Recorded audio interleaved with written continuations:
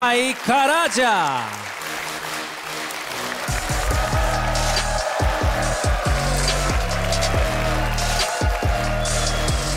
Bună seara, oameni buni, numele meu este Zis Omul și, probabil, vă întrebați de ce sunt aici. Sincer să fiu, asta mă întreb și eu. Uh, nu, nu, glumesc.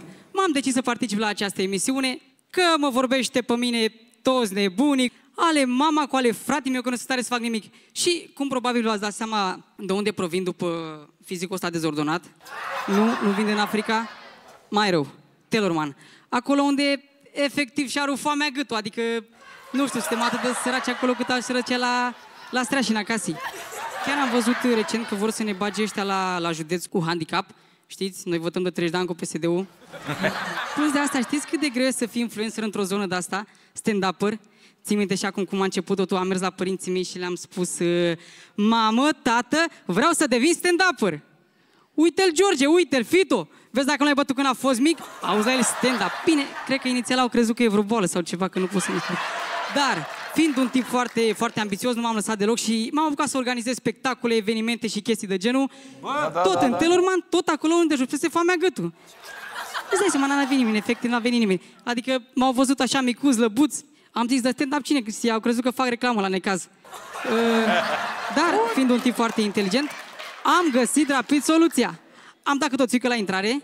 Băi, de ce efectiv nu mai făceam față? Aveam câte două, trei spectacole pe seară. Dar să știți că treaba asta n-a durat mult, că a venit uh, nenorocirea asta peste noi, pandemia asta, să zic așa. Credeam că zice, a venit nenorocirea asta peste noi, l-au închis pe șeful. Bine, dar să știți că până acum nu ne afecta foarte tare. Adică, ce nu știi nu te afectează. Noi mai avem puțin și vânăm șobolară cu arco și în spimie de coronavirus. Deci... deci ok, ok. Nu pe bune, deci noi până acum două săptămâni am crezut că coronavirus și COVID-19 sunt două lucruri total diferite. Și până acum nu am crezut că sunt două echipe de fotbal. Plus de asta, haide să fim serioși. Până la urmă are și virusul ăla, demnitatea lui de virus, dă-l în mama lui de aici. Pe când a văzut ce e pe ăla, sintești în părțile alea, nu știu, stai să m-a făcut imediat dreapta. Da, cum am spus și mai devreme, la mine în zonă nu ne-a afectat deloc. Uh, producția nu s-a oprit deloc. S-a produs suica în în continuare. Deci, eu cred că noi români avem, băi, avem un talent nativ, mă. Avem un dar de la Dumnezeu să, să facem țuică din orice. Băi, efectiv din orice. Ori fi inventat ea, nu știu, roata, electricitatea și așa mai departe. Bă, dar cum să treacă pe cap să faci țuică din electroz, mă? Bă, țuică din electroz, mă, mâncați. Face țuică da? din pasta de electroz, da? Haide, mă. Serios? Bine, îți dai seama asta, acidul de baterie și pufai, că astea sunt la ordinea zilei, ce naiba. Și ca orice popor strălucit, mai avem și noi defectele noastre, că na, suntem oameni, vorba aia. Deci eu sunt de părere că noi românii avem cele mai proaste tradiții, obiceiuri, nu știu, bă, glume, bă, până și, până și glumele avem proaste, mă. Uite, nu știu, vă sunt, de exemplu, pe, pe Facebook zilele trecute o descriere, cel mai bun sfat în viață ți-l de frizerul. Ține tot timpul capul sus. Nu, cel mai bun sfat în viață ți-l dă măta. Du-te la muncă, lătura, dracu.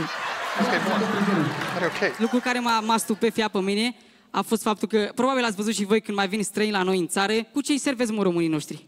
Bă, cu pâine și sare, mă. Bă, pâine și sare, mă, în 2020. I-ați văzut și pe ați dai seama, cred că sunt la camera ascunsă ceva de genul, adică, până în secolul 21 dați pâine și sare, mă. Unde dacă mă sunt Mesopotamia? Faptul care mi-a, mi-a pus capac efectiv, cred că cu toții am cântat celebrul cântec Avion cu motor, ia-mă și pe mine zbor. Ei bine, pe mine m-a luat ce credeți? Și m-a dus la muncă în Italia. Pă bune, eu cred că Italia în 10 ani ajunge colorinii românească, mâncați. Ați văzut, mai sunt câțiva bezmetici ăștia pe la televizor, tip Transilvania, pământ românesc. Nu, tată, Italia, pământ românesc. Deci eu cred că sunt mai mulți români în Italia decât România, ești nebun? Și culmea, în ultima perioadă au început italienii să vină în România. Bă, zici că la, suntem la schimb de mame, să mor eu. Mamă, da. Da, da. Păi mergem, Melissa, că că mic rupe. Facă da, da, da, da. Plus de asta, eu cred că, că noi românii avem o țară predestinată, mă. Ați văzut și voi avem țară în formă de pești. Deci, eu cred că avem cei mai mulți, nu știu, pești combinatori pe metru pătrat. Și, bă, eu cred că ăștia ar trebui să ne conducă pe noi, mă, mâncați. Deci, cred că dacă ăștia ar fi la conducere, s-ar înființa noi partide, nu știu, Partidul PBR, Partidul Bombardierilor Români, s-ar defința toate școlile, de seama ar, ar apărea Universitatea de Șmecherie din București. Și cred că dacă ăștia ar fi la conducere, nu știu, uh, moneda națională s-ar numi 1400, și l-ar avea ca, ca personalitate pe marele artist Florin Salam. Și ca să închei, nu știu, deja îmi imaginez că o să apară glumele de genul Aruncă-mă între politicieni și mă voi întoarce fără țigări. Îmi mulțumesc mult, ăsta a fost numărul meu. Bine, mă!